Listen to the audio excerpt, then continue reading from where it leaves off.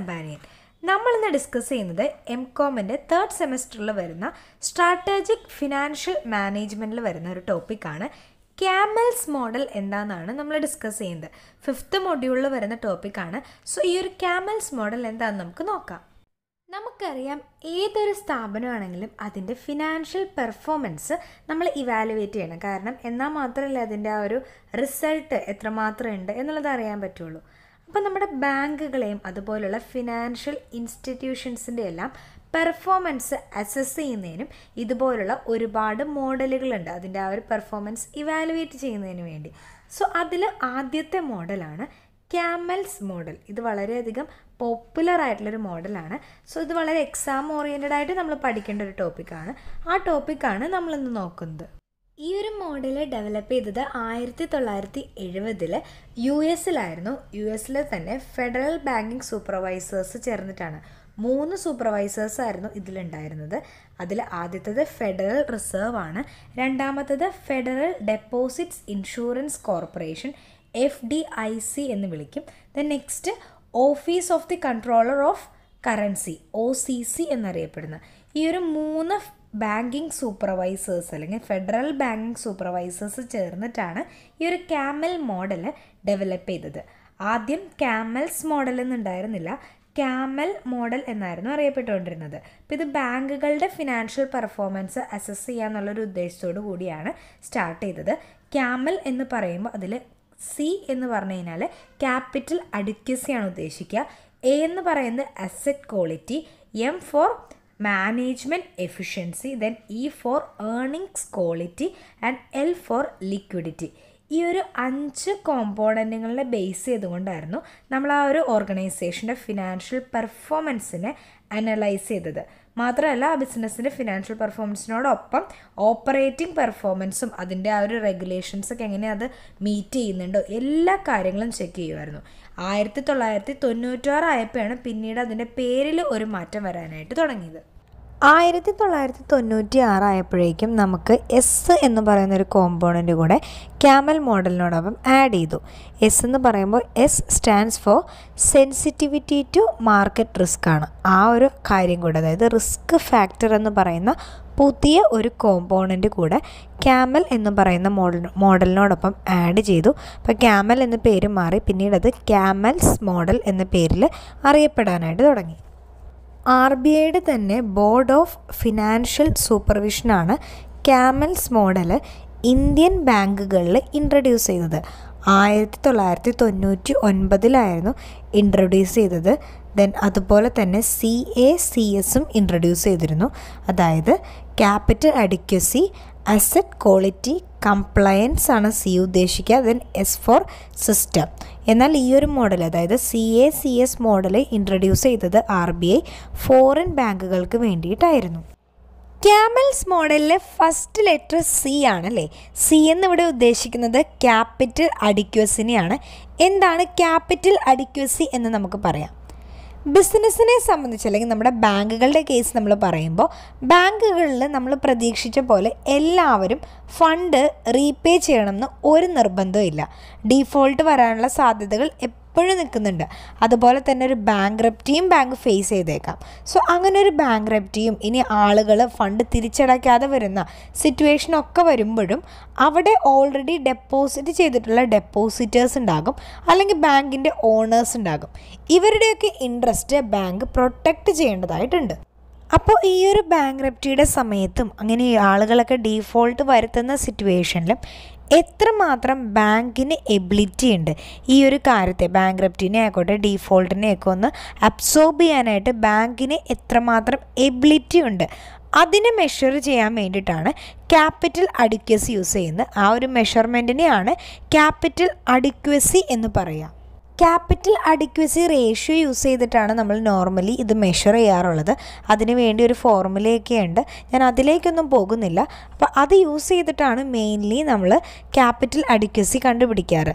Then അതുകൂടാതെ capital അഡിക്വസിനെ indicate ചെയ്യുന്ന വേറെ കുറേ റേഷ്യോസ് ഉണ്ട്. Debt equity ratio total advances to total asset ratio ഇങ്ങനെയുള്ള പല റേഷ്യോസും ഇതിനു വേണ്ടി ഉപയോഗിക്കാറുണ്ട്. ക്യാമൽസിലെ സി നമ്മൾ പറഞ്ഞു അടുത്ത ലെറ്റർ എ ആണ്. എ എന്ന് പറയുന്നത് സ്റ്റാൻഡ് ഫോർ അസറ്റ് ക്വാളിറ്റി ആണ്. അതായത് നമ്മുടെ ബാങ്കിലെ അസറ്റുകൾ എപ്പോഴും ഇൻകം ജനറേറ്റിംഗ് ആയിരിക്കണം അല്ലേ? അപ്പോൾ ആ ഒരു അസറ്റിന് എത്രമാത്രം ക്വാളിറ്റി ഉണ്ട് എന്ന് ഡിറ്റർമിൻ ചെയ്യുന്നത് അത് എത്രമാത്രം ഇൻകം അതിൽ നിന്ന് ജനറേറ്റ് ചെയ്യുന്നു എന്നുള്ളതിനനുസരിച്ചിട്ടാണ്. അപ്പോൾ അതിനെ ബേസ് ചെയ്തിട്ടാണ് നമ്മൾ അസറ്റിന്റെ ക്വാളിറ്റി പറയുക.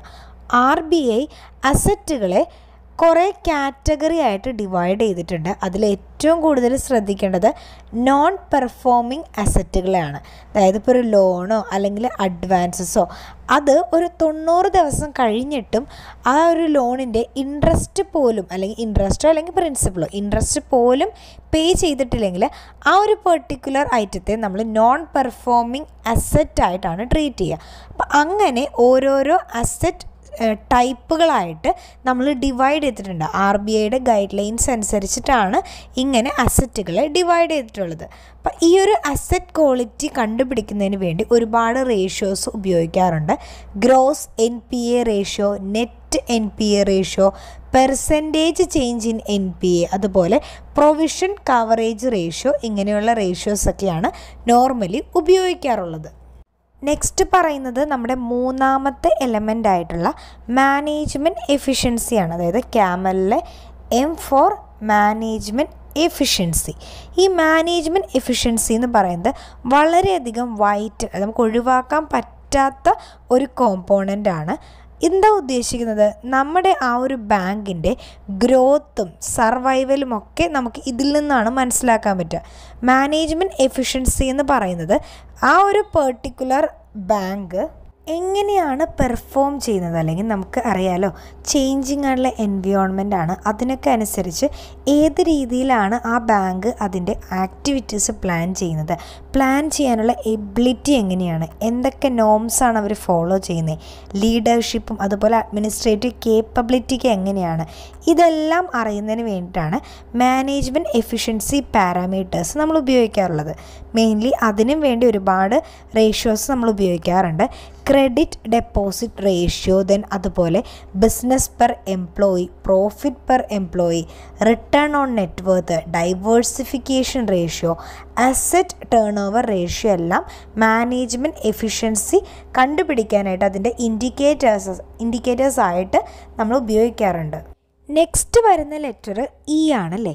ഇ എന്ന് പറഞ്ഞാൽ ഏർണിങ്സ് ക്വാളിറ്റിയാണ് നമ്മുടെ ആ ഒരു പെർട്ടിക്കുലർ ബാങ്ക് എത്രമാത്രം ഏൺ ചെയ്യുന്നുണ്ടെന്നുള്ളതും ആ ഏൺ ചെയ്യുന്നത് നല്ല ക്വാളിറ്റിയാണ് അല്ലെങ്കിൽ നമ്മൾ ബിസിനസ് നല്ല പ്രോഫിറ്റബിൾ ആയിട്ടാണോ പോകുന്നത് അല്ലെങ്കിൽ മാത്രമല്ല ഈ പ്രോഫിറ്റ് ഉണ്ടാക്കിയാൽ മാത്രം പോരല്ലോ. അത് മെയിന്റെയിൻ ചെയ്യാൻ കൂടെ സാധിക്കണം. അപ്പോൾ ഈ ഒരു ഏണിങ്സ് കോൺസ്റ്റന്റ്ലി വളരെയധികം നല്ല രീതിയിൽ ബാങ്കിൽ എത്തുന്നുണ്ടോ? ബാങ്കിന് ആ ഒരു കോൺസ്റ്റന്റ് ഏണിങ്സ് നിലനിർത്താനായിട്ട് സാധിക്കുന്നുണ്ടോ? ഇങ്ങനെയുള്ളൊരു കാര്യങ്ങളൊക്കെയാണ് നമ്മൾ ഏർണിങ്സ് ക്വാളിറ്റി എന്ന് പറയുന്ന ആ ഒരു കോമ്പോണന്റിലൂടെ മെഷർ ചെയ്യുന്നത്. ഇത് പ്രൈമർലി കണ്ടുപിടിക്കുന്നത് ബാങ്കിന്റെ പ്രോഫിറ്റബിലിറ്റി തന്നെയാണ്. അതുപോലെ ആ ഒരു ഫ്യൂച്ചറിലേക്ക് ബാങ്കിന് എത്രമാത്രം ഏണിങ്സ് ഉണ്ടാവുന്നുള്ളതും അത് എത്രമാത്രം സസ്റ്റെയിൻ ചെയ്ത് ബിസിനസ്സിൽ തന്നെ നിലനിൽക്കാൻ സാധ്യതയുണ്ട്. ഇത്രയും കാര്യങ്ങളാണ് ഈ ഒരു ഏണിങ്സ് ക്വാളിറ്റിയിലൂടെ മെഷർ ചെയ്യുന്നത്. ഇതിനു വേണ്ടി നമ്മൾ റേഷ്യോസ് ഉപയോഗിക്കാറുണ്ട്. അതെന്ന് പറയുന്നതാണ് return on asset dividend pay out ratio interest income to total income ratio other income to total income അല്ലെങ്കിൽ ഡൈവേഴ്സിഫിക്കേഷൻ റേഷ്യോ എന്ന് പറയാം.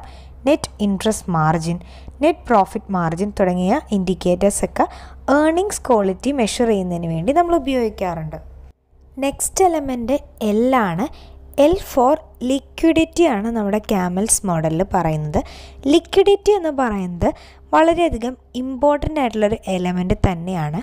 ബാങ്കിന് അവരുടെ ഫിനാൻഷ്യൽ ഒബ്ലിഗേഷൻസ് എത്രമാത്രം മീറ്റ് ചെയ്യാൻ സാധിക്കുന്നുണ്ട്.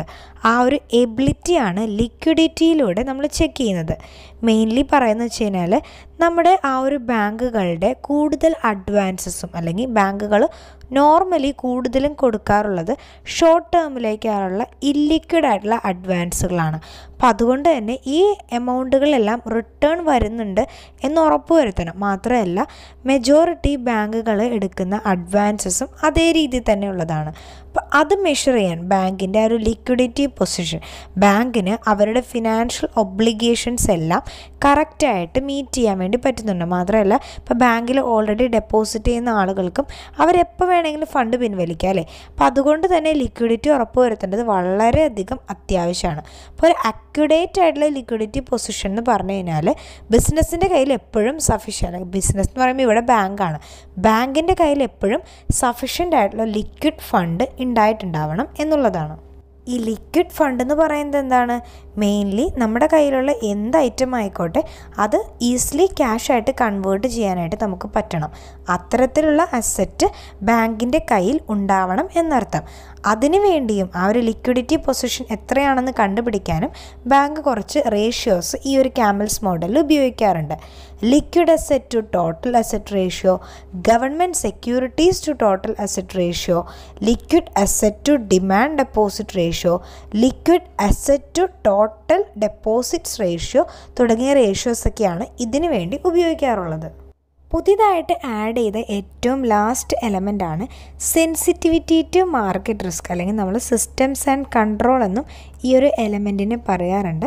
ക്യാമൽസിലെ എസ് സ്റ്റാൻഡ്സ് ചെയ്യുന്നത് ഈ ഒരു എലമെന്റിനെയാണ് ബേസിക്കലി ഇത്രയേ ഉള്ളൂ. നമ്മുടെ ഫിനാൻഷ്യൽ ഇൻസ്റ്റിറ്റ്യൂഷനായിട്ടുള്ള ബാങ്കുകളെല്ലാം എപ്പോഴും ഹൈലി ലിവറേജ്ഡ് ആണ്. മാത്രമല്ല ഒരുപാട് പബ്ലിക് ഫണ്ട് ഉപയോഗിക്കുന്ന സ്ഥാപനം കൂടിയാണ്. സോ അങ്ങനെ വരുമ്പോൾ എന്ത് എന്തൊക്കെ തന്നെ പറഞ്ഞാലും ഒരുപാട് റിസ്ക്കും അവിടെയുണ്ട്. അതായത് ക്രെഡിറ്റ് റിസ്ക് വരും ഇൻട്രസ്റ്റ് റേറ്റിന്റെ റിസ്ക് ഉണ്ട്. ഫോറിൻ എക്സ്ചേഞ്ച് അതായത് നമ്മുടെ കറൻസിയും അവിടുത്തെ കറൻസി അതായത് ഫോറിനിലുള്ള കറൻസിയും തമ്മിലുള്ള ആ ഒരു കറൻസിയുടെ മണി വാല്യൂലുള്ള വേരിയേഷൻ കാരണം വരുന്ന റിസ്ക് ഇങ്ങനെ ഒരുപാട് റിസ്ക് ഉണ്ട്. ഈ റിസ്കുകളെല്ലാം നമ്മളിപ്പോൾ തൊട്ട് മുമ്പ് പറഞ്ഞ എല്ലാ ഇൻഡിക്കേറ്റേഴ്സിനെയും വളരെയധികം ഇൻഫ്ലുവൻസ് ചെയ്യുന്നതുമാണ്. ബാങ്കുകൾക്ക് നമ്മളിപ്പോൾ ഈ തൊട്ട് മുമ്പ് പറഞ്ഞ ഈ ഒരു റിസ്ക്കുകളെല്ലാം ഡീൽ ചെയ്യാനായിട്ട് പറ്റണം. ആ ഡീൽ ചെയ്യാനായിട്ടുള്ള എബിലിറ്റി ഉണ്ടോ എന്ന് ചെക്ക് ചെയ്യാനും അനലൈസ് ചെയ്യുന്നതിന് വേണ്ടിയിട്ടാണ് നമ്മൾ ഈ സെൻസിറ്റിവിറ്റി ടു മാർക്കറ്റ് റിസ്ക് എന്ന് പറയുന്ന എലമെന്റ് ഉപയോഗിക്കുന്നത്. അപ്പോൾ ഇതിനെ അനലൈസ് ചെയ്തിട്ട് ഒരു സ്കോർ നമ്മൾ കൊടുക്കും. നമ്മളിപ്പോൾ പറഞ്ഞ റിസ്ക് ഫാക്ടേഴ്സിനെ റിലേറ്റ് ചെയ്യുന്ന ഒരുപാട് കാര്യങ്ങളുണ്ട്. നമ്മുടെ പുതിയ ടെക്നോളജി നമ്മൾ ഏത് അഡോപ്റ്റ് ചെയ്യുന്നത് അതിന്റെ ഒരു സ്റ്റേറ്റ് ദെൻ അതുപോലെ തന്നെ റിസർവ് ബാങ്ക് ഫണ്ടിലേക്കുള്ള നമ്മുടെ ആക്സസ് എങ്ങനെയാണ്? റെഗുലേറ്ററി പെനാൽറ്റി എത്രമാത്രം ഉണ്ട് പിന്നെ അത് കൂടാതെയുള്ള കംപ്ലയൻസസ് ഇതെല്ലാം ഈ ഒരു ഫാക്ടേഴ്സിനെ നമ്മുടെ റിസ്ക് ഫാക്ടേഴ്സുമായിട്ട് ബന്ധപ്പെട്ട് കിടക്കുന്നതാണ്. ക്യാമൽസ് മോഡൽ എങ്ങനെയാണ് റേറ്റ് ചെയ്യുന്നത് എന്ന് നമുക്ക് നോക്കാം. ക്യാമൽസ് മോഡൽ എന്ന് പറയുന്നത് നമ്മൾ പറഞ്ഞ പോലെ തന്നെ ബാങ്കുകളുടെ എബിലിറ്റീസ് എല്ലാം സൂപ്പർവൈസ് ചെയ്യുന്നതിന് വേണ്ടി ആർ ബി ഐ യൂസ് ചെയ്യുന്ന ഒരു മോഡലാണ് അപ്പോൾ അതിന്റെ റേറ്റിംഗ് മെക്കാനിസമാണ് നമ്മളിനി പറയുന്നത്. ക്യാമൽസ് മോഡലിന്റെ ഓരോ കോമ്പോണന്റുകളെയും നമ്മൾ സ്കെയിൽ ചെയ്യും. അതിനുവേണ്ടി ഒന്ന് തുടങ്ങി നൂറ് വരെ എന്നൊരു സ്കെയിലാണുള്ളത് നമ്മുടെ ആ ഒരു ബാങ്കിന്റെ പെർഫോമൻസിന്റെ അടിസ്ഥാനത്തിൽ അസെൻഡിങ് ഓർഡറിലായിരിക്കും നമ്മൾ സ്കെയിൽ ചെയ്യുക. ഇനി അതുപോലെ തന്നെ സെക്കൻഡ് നമ്മൾ ചെയ്യുന്ന കാര്യം എന്ന് പറഞ്ഞു കഴിഞ്ഞാൽ നമ്മൾ ആ ആദ്യം ചെയ്ത കാര്യത്തിന്റെ തന്നെ ഒരു കണ്ടിന്യൂഷനായിട്ട് പറഞ്ഞു പോകുന്നതാണ്. ക്യാമൽസ് മോഡലിൽ ഓരോ എലമെന്റിന്റെയും അണ്ടറിൽ നമുക്കറിയാം ഓരോരോ സബ് പാരാമീറ്റേഴ്സ് ഉണ്ടെന്ന്. നമ്മളിപ്പോൾ പറഞ്ഞു പോയപ്പോൾ പറഞ്ഞതാണ് ഓരോന്നിന്റെ അണ്ടറിൽ ഓരോരോരോ റേഷ്യോസ് ഉണ്ട്. അതിന്റെ എല്ലാത്തിന്റെയും പ്രപ്പോർഷനേറ്റ് വെയ്റ്റിന്റെയും കൂടെ അടിസ്ഥാനത്തിലായിരിക്കും സ്കോറ് ഡിറ്റർമിൻ ചെയ്യുക ഓരോ പാരാമീറ്റേഴ്സിന് നമ്മൾ അവോയ്ഡ് ചെയ്യുന്നത് എ തുടങ്ങി ഡി വരെ ആയിരിക്കും. എ എന്ന് നമ്മൾ കൊടുക്കുന്നത് ഏറ്റവും ഗുഡിനാണ്. ഇനി ബി എന്ന് പറയുന്നത് സാറ്റിസ്ഫാക്ടറി സി എന്ന് പറഞ്ഞാൽ അൺസാറ്റിസ്ഫാക്ടറി ആണ് പെർഫോമൻസ് ഡി എന്ന് പറയുന്നത് പെർഫോമൻസ് പൂവറാണ് ഇതേ രീതിയിൽ ഓരോ പാരാമീറ്റേഴ്സും നമ്മൾ അവോയ്ഡ് ചെയ്യും. ദെൻ അതിനുശേഷം നമ്മൾ ചെയ്യുന്നത് എന്താണെന്ന് പറഞ്ഞു കഴിഞ്ഞാൽ ക്യാമൽസ് റേറ്റിംഗ് ആണ് പിന്നീട് നമ്മൾ ചെയ്യുക. അതിനു വേണ്ടി ഓരോ കോമ്പോണന്റിനെയും നമ്മൾ അഗ്രിഗേറ്റ് ചെയ്തെടുക്കും. ദെൻ നമ്മൾ ഈ കൊടുത്തിരിക്കുന്ന വെയ്റ്റിനെ വെച്ചിട്ട് അതിനെ കമ്പയർ ചെയ്ത് എന്നിട്ടാണ് ക്യാരമൽസ് റേറ്റിംഗ് നമ്മൾ അവോയ്ഡ് ചെയ്യുക. താഴെ ടേബിളിൽ കൊടുത്തിരിക്കുന്നതാണ് പാരാമീറ്റേഴ്സിന്റെ വെയ്റ്റ് റേറ്റ് ദെൻ സ്കോർ നമ്മൾ ഓൾറെഡി കണ്ടുപിടിക്കുകയും ചെയ്യും. സോ ഇതിനെ രണ്ടിനെയും ഇൻഡ്യൂ ചെയ്തിട്ടാണ് ഓരോ പാരാമീറ്റേഴ്സിന്റെയും റേറ്റ് നമ്മൾ തീരുമാനിക്കുന്നത്. അതിനെ ബേസ് ചെയ്തിട്ടാണ് എ ടു ഡി നമ്മൾ റേറ്റ് കൊടുക്കുക. അപ്പോൾ ഓരോ പാരാമീറ്റേഴ്സിന്റെയും വെയിറ്റ് ഇവിടെ കൊടുത്തിട്ടുണ്ട്. നിങ്ങൾക്ക് കാണാം ക്യാപിറ്റൽ അഡിക്വസിയിലെ ക്യാമൽസ് മോഡലിന്റെ എയ്റ്റീൻ ആണ്. ഇനി അത് ഫോറിൻ ബാങ്കിലേക്ക് വേരി ചെയ്യുമ്പോഴൊരു വ്യത്യാസം ഓരോ എലമെന്റിന്റെയും നമുക്കിവിടെ കാണാൻ സാധിക്കും. റേറ്റ് തീരുമാനിച്ചു കഴിഞ്ഞ് കഴിഞ്ഞാൽ നമ്മുടെ റേറ്റ് ബാങ്കുകളുമായിട്ട് കമ്മ്യൂണിക്കേറ്റ് ചെയ്യും. എന്നാൽ മാത്രമല്ല അവർക്ക് ആ ഒരു സജഷൻ കിട്ടുള്ളൂ. ഫോർ എക്സാമ്പിൾ നമ്മൾ പറയുകയാണെങ്കിൽ നമ്മുടെ റേറ്റ് ഡി ആണ് എന്ന് വിചാരിക്കുക. അപ്പോൾ അങ്ങനെ പറയുമ്പോഴത്തേനും നമ്മൾ പറയും ബാങ്ക് ഇനി അധികം നാൾ മുന്നോട്ട് പോകാനായിട്ട് സാധ്യതയില്ല. അവിടെ ഒരു വീക്ക്നെസ് ഉണ്ട് എന്നുള്ള രീതിയിൽ പറയും. ഇനി ബി ആണെങ്കിൽ സ്ട്രോങ് ആണ്. കുറച്ചും കൂടെ നമ്മൾ ശ്രദ്ധിക്കണം എന്നുള്ള രീതിയിലായിരിക്കും നമ്മൾ പറയുക. അപ്പോൾ റേറ്റിനെ അടിസ്ഥാനമാക്കിയിട്ടുള്ള സജഷനായിരിക്കും കൊടുക്കുന്നത്. ഇതാണ് നമ്മുടെ ഇന്നത്തെ വീഡിയോ നിങ്ങൾക്ക് ഇതിൽ എന്തെങ്കിലും ക്ലാരിഫിക്കേഷൻസോ അല്ലെങ്കിൽ ഫർദർ കൂടുതൽ ട്യൂഷൻസ് എന്തെങ്കിലും ആവശ്യമുണ്ടെങ്കിൽ നിങ്ങൾക്ക് എന്നെ കോൺടാക്റ്റ് ചെയ്യാവുന്നതാണ്. ഞാൻ നമ്മുടെ ഇൻസ്റ്റഗ്രാം ഐ ഡിയും അതുപോലെ വാട്സപ്പ് നമ്പറും കൊടുത്തിട്ടുണ്ട്. നിങ്ങൾക്ക് ഏതിലൂടെ വേണമെങ്കിലും എന്നെ കോൺടാക്റ്റ് ചെയ്യാവുന്നതാണ്. വാട്സപ്പിലൂടെ കോൺടാക്റ്റ് ചെയ്യുന്നതായിരിക്കും കുറച്ചുകൂടെ കൂടുതൽ സൗകര്യം. ഇനി അതല്ല നിങ്ങൾക്ക് എന്നെ കോൾ ചെയ്യണമെങ്കിലും ഈ ഒരു നമ്പറിൽ വിളിച്ചാൽ നിങ്ങൾക്ക് കിട്ടുന്നതായിരിക്കും. സോ എല്ലാവരും നന്നായി പഠിക്കുക. നമുക്കിപ്പോൾ ട്യൂഷൻ അവൈലബിൾ ആയിട്ടുള്ളത് plus one തുടങ്ങിയിട്ടാണ്. Plus one plus two B com M com ലെവലിലേക്കാണ് നമ്മളിപ്പോൾ ട്യൂഷൻ അവൈലബിൾ ആക്കിയിട്ടുള്ളത്. എന്തെങ്കിലും ഫർദർ ഇൻഫോർമേഷൻ നിങ്ങൾക്ക് അറിയണമെങ്കിൽ നിങ്ങൾക്ക് എന്നെ കോൺടാക്ട് ചെയ്ത് കഴിഞ്ഞാൽ ഞാൻ അതിന്റെ ഡീറ്റെയിൽസ് എല്ലാം പ്രൊവൈഡ് ചെയ്യാം. സോ നമുക്ക് പുതിയ വീഡിയോ ആയി ഇനിയും കാണാം. സോ എല്ലാവരും നന്നായി പഠിക്കുക. B U B unique